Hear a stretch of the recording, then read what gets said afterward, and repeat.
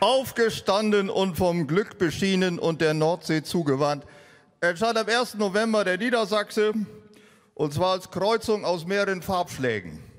Dem schwarzen Oldenburger, dem roten Hannoveraner, dem Braunschweiger Schimmel und dann wurde auch noch der Pony aus Schaumburg eingekreuzt.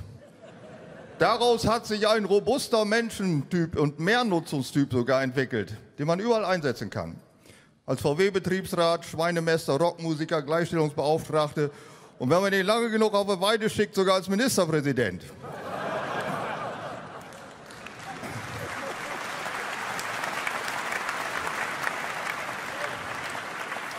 Das liegt natürlich unter anderem an seiner genügsamen Ernährung. Es gibt drei niedersächsische Spezialitäten, verbrannt, versalzen und von gestern. Alle drei sorgen dafür, dass man sich nicht so lange bei Tisch aufhält und deshalb die ganze Arbeit liegen bleibt. Auch Kühe fressen ihr ganzes Leben lang dasselbe und sind deshalb unglücklich? Nee, siehst du. Spezialitäten sind der Oldenburger Grünkohl. Durch ihn hat der Vegetarismus seinen Schrecken verloren. Und durch den Spargel entstand der Austausch mit Polen. An sich brauchen wir nicht viel zum Glücklichsein. Ein paar heile Gummistiefel für draußen und drinnen jemanden, der nicht mit einem spricht. Denn keiner,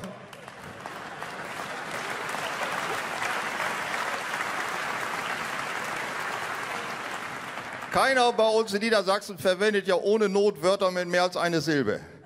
Moin, Tag, Jau, was, nee und klar. Das letzte Wort steht sogar als Begrüßung an der Autobahn. Da fragt sich der Reisende sofort, ob die hier noch alle Latten am Zaun haben. Doch an sich ist der Niedersachse innerlich unheimlich gut drauf. Aber für welche nicht von hier sehen die alle aus, als wenn sie eine lange Haftstrafe vor sich hätten. Denn ein Optimist in Niedersachsen ist einer, der sagt, die Flasche Korn ist halb leer. Denn er ist nämlich halb voll. Pessimisten gibt es hier gar nicht, weil morgen ist auch noch ein Tag. Und wer weiß, ob wir dann noch am Leben sind, was soll ich mich da heute unnütz drüber aufregen. Der Eingeborene hat die Ruhe weg. Diese Haltung sieht man auch in der Politik.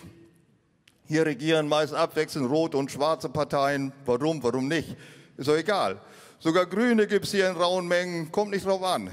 Selbst wenn hier Außerirdische landen, würden sie bald einsehen, dass sie wieder abziehen müssen, weil ihnen die Dickfälligkeit von den Großsäugern auf die Nüsse geht. Die Eingeborenen von hier erzählen nie, wie gern sie hier sind in Niedersachsen. Aus lauter Angst, andere könnten dann ja hinziehen, sagen wir aus Berlin, ja, und die ganze Stimmung wäre kaputt.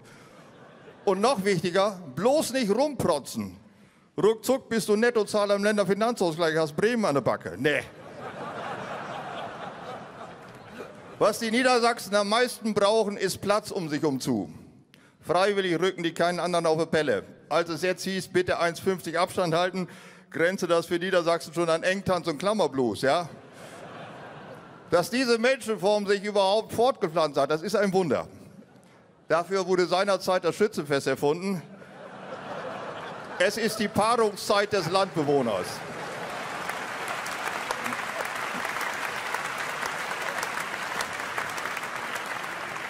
Das ist auch immer im Juni oder Juli, damit die daraus entstehende Niederkunft der Weibchen nicht in die Erntezeit fällt. Denn Mutti muss mit auf den Ladewagen und Strohbunde fangen. Kultur ist ja auch eher weniger. Hauptsächlich Kulturdenkmäler, das heißt, da war früher mal Kultur. Es gibt allerdings einen Kultusminister, aber der Name täuscht. In Wahrheit geht es dabei hauptsächlich um Lehrer, also um was ganz anderes. Der größte Kulturträger in Niedersachsen ist die Landschaft. Und für die Pflege der Kulturlandschaft ist der Bauer zuständig. Weil er aber dafür kein Geld kriegt, scheißt er drauf. Und das auch nicht mal selber, sondern das machen andere für ihn. Er fährt die bloß rum in sein Güllefass. Das dazugehörige Fest ist der 31. Januar und nennt sich Gülle-Silvester. Ist an sich sogar der höchste niedersächsische Feiertag überhaupt. Da werden die Güllefässer geschmückt und alle freuen sich auf die Aussegnung des braunen Goldes am folgenden Tag. Im Herbst, jetzt um diese Zeit, feiern wir noch das Maishäcksel-Festival.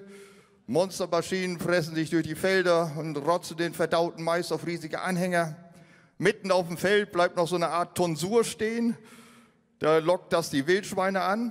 Alle Jäger rotten sich um zu und ballern da wie wild rein, bis der Schwarzkittel mit erhobenen Vorderhufen aus dem Feld hinaustritt. Mais gibt's hier ganz viel. Schadet ja nichts. War vorher auch nicht viel schöner. Was nützt einem denn die malerische Landschaft? Da kriegst du nie eine Baugenehmigung für den Schweinemaststall. Was willst du da also mit? Ne? Allmäßig fragst du dich natürlich, wie kommt so einer überhaupt zurecht im Leben, so Niedersachse? Ganz einfach, der Rheinländer ist lustig, der Niedersachse hat Humor. Wenn man lustig ist, sagen wir mal Karneval, vergisst man für ein paar Stunden den Ernst des Lebens. Mit Humor nimmt man das Leben insgesamt nicht ernst und vor allen Dingen sich selbst nicht. Das ist der Unterschied.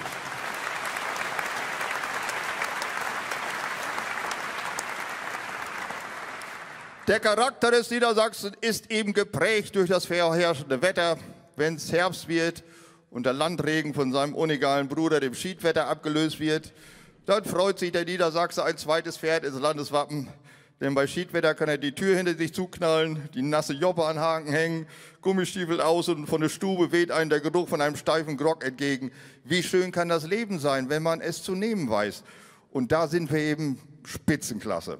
Heute sind wir alle als Niedersachsen 75 Jahre geworden und trotzdem Ostfriesen, Braunschweiger, Emsländer und sogar Männer und Frauen geblieben. Niedersachsen ist die Holding, unter der die einzelnen Marken erst richtig aufleben. Volkswagen hat dieses Konzept kopiert, ist damit sogar zum Weltkonzern geworden. Niedersachsen ist das Land, das alles hat. Salzgitter, das Paris an der A39. Also jetzt nicht Innenstadt Paris, mehr so die Vororte, aber trotzdem. Oder Lüneburg, die Stadt der Liebe im Fernsehen am Vormittag. Bad Zwischenahn, das Acapulco des Bustouristen. Das kannst du alles in Niedersachsen erleben. Sogar Afrika, jedenfalls im Sommer, wenn Dürre ist in der Heide. Passende Löwen gibt es im Serengeti-Park. Wölfe laufen sogar flächendeckend zwischen Wolfsberaterinnen herum. Und Wolfsburg hat eine Autostadt, in der keine Autos fahren, sondern nur für Fußgänger ist. Da zeigt sich die Zukunft. Bei uns gibt es einfach mehr für selbe Geld. Besser geht's nicht. Niedersachsen ist demnach die Zuchtperle unter den Bundesländern und dazu können wir uns alle gegenseitig beglückwünschen. Ich sage mal munter bleiben, bis zum nächsten Mal zum 100-Jährigen.